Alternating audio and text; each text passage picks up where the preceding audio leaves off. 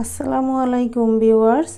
আজকে আমার রেসিপি ডিম দিয়ে লাউয়ের ঝোল আর এই তরকারিটা শীতের দিনে খেতে অসম্ভব মজা হয়।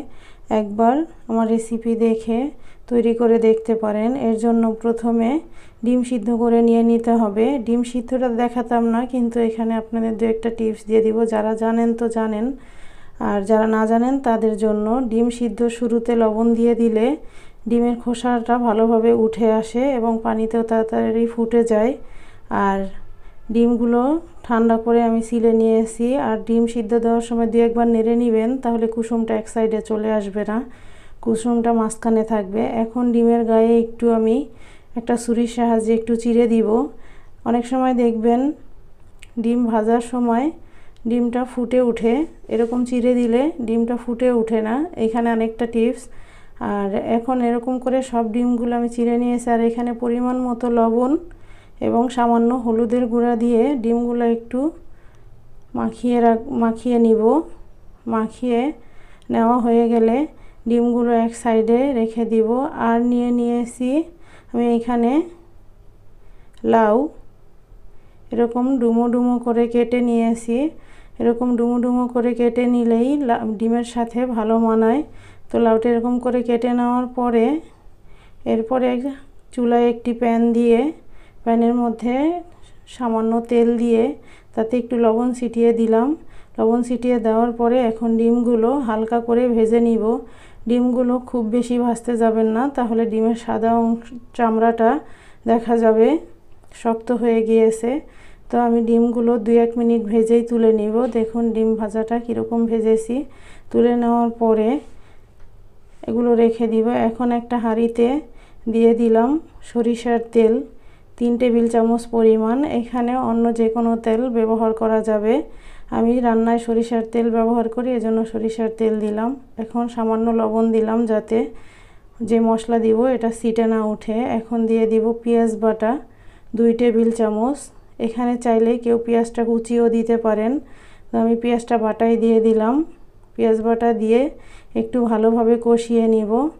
একটু ভালোভাবে কষিয়ে নেওয়া হয়ে গেলে এখন আমি এখানে দিয়ে দিব কাঁচামরিচ একদম ফালি করে, কারণ লাউয়ের তরকারিতে শুকনা মরিচ ভালো মানায় না। আমি লাউয়ের তরকারিতে কখনো শুকনা মরিচ দেই না, কাঁচামরিচ দিয়েই রান্না করি।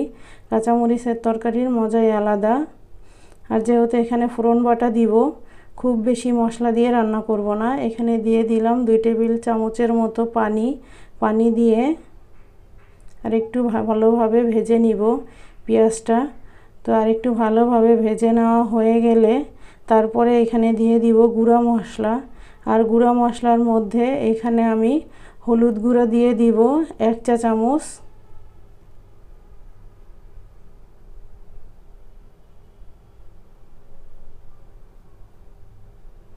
আর দিয়ে দিব ধনিয়া গুঁড়া এক চা চামচ। এখন পেঁয়াজের সাথে গুঁড়া মশলাগুলো ভালোভাবে একটু মিলিয়ে নিব এবং আরও দুই এক মিনিট ভেজে নিব। দুই এক মিনিট ভেজে নেওয়া হয়ে গেলে তারপরে এখানে দিয়ে দিব পানি।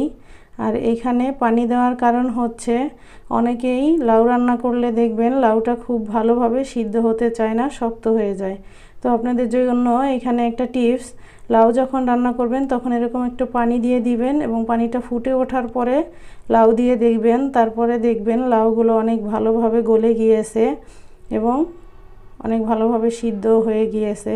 তো আমি এখন লাউর সাথে মশলাগুলো ভালোভাবে মিলিয়ে তারপরে ঢেকে দিব। পাঁচ, সাত মিনিটের জন্য পাঁচ থেকে সাত মিনিট ঢেকে দিলে দেখবেন লাউ থেকে যথেষ্ট পরিমাণে পানি বের হয়েছে। তো ফিরে আসলাম।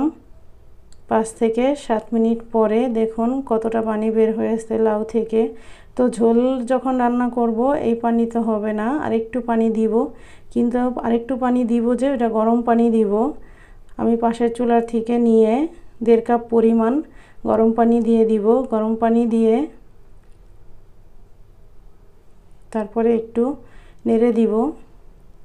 নেড়ে এখন অপেক্ষা করব ঝোলের পানিটাতে। বলক আসা পর্যন্ত ঝোলের পানিটা বলক আসলে তারপরে দিয়ে দিব।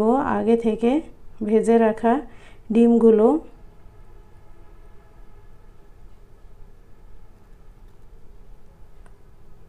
ডিমগুলো দিয়েও আমি একটু ভালোভাবে নেড়ে দিব, যাতে ডিমগুলো একটু সরিয়ে যায় চারিদিকে।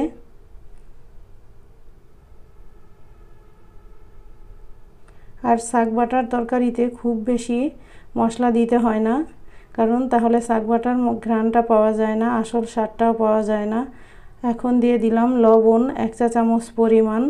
লবণটা এখনই বুঝে শুনে দিতে হবে, কারণ ডিম সিদ্ধর সময় লবণ দিয়েছি। ডিমটা যখন হালকা ভেজে নিয়েছি, তখনও সামান্য লবণ দিয়েছি। এবং শুরুতে পেঁয়াজ ভাজার সময়ও একটু লবণ দিয়েছি। তো লবণটা দেখে দিতে হবে। এখন ঢেকে দিলাম আরও পাঁচ থেকে সাত মিনিটের জন্য। পাঁচ থেকে সাত মিনিট পরে ঢাকনাটা খুলে দিয়ে দিব ফোড়ন বাটা। আর ফোড়ন বাটা এইখানে ছয়টি ডিম দিয়ে বা সাতটি ডিম দিয়ে তরকারি রান্না করলে এখানে এক চামচ, এক টেবিল চামচ পরিমাণ দিয়ে দিলেই হয়ে যায়। আর এই ফোড়ন বাটাটা দিতে হবে তরকারি নামানোর চার থেকে পাঁচ মিনিট আগে। এই ফোড়ন বাটা দিয়ে বেশি জাল করা যাবে না, তাহলে ফোড়ন বাটার ঘ্রানটা নষ্ট হয়ে যাবে। খুব বেশি ভালো হবে না। চার পাঁচ মিনিট জাল করার পরে এখন আরেকবার নেড়ে দিব। নেড়ে দিয়ে দেখুন লাউটা কীভাবে গলে গিয়েছে। একদম নরম হয়ে গিয়েছে। যখন এরকম লাউ গলে যাবে তখন দিয়ে দিব ধনিয়া পাতা কুচি। লাউয়ের তরকারি আর ধনিয়া পাতা থাকবে না, তা কি হয়? তো ধনিয়া পাতা দিয়ে একটু ভালোভাবে নেড়ে চুলাটা আমি বন্ধ করে দিব। কারণ ধনিয়া পাতা সিদ্ধ হতে খুব বেশি সময় লাগে না। তো বন্ধ করে দিয়ে আমি আপনাদেরকে পরিবেশন করে দেখাবো। আমার লাউ রেসিপি যদি আপনাদের কাছে ভালো লাগে, তাহলে বাসায়